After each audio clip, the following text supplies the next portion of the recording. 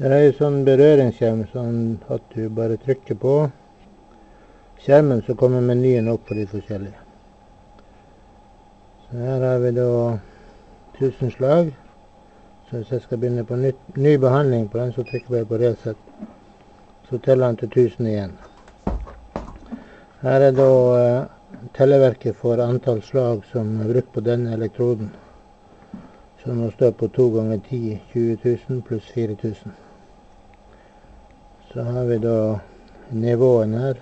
Nivået, altså styrken på, på slagene opp eller ned.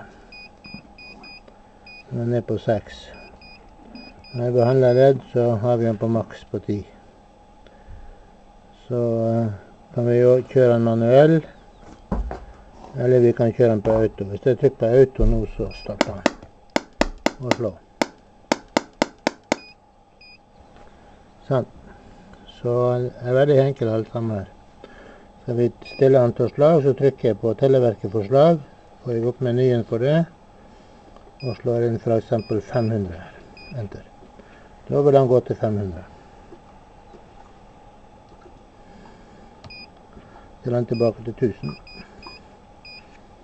Sånn. Så i det hele tatt så er det veldig enkelt å betjene den.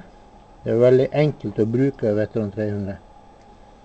Og det er en enhet som står i en koffert på hjul, så den er lett å ta med seg.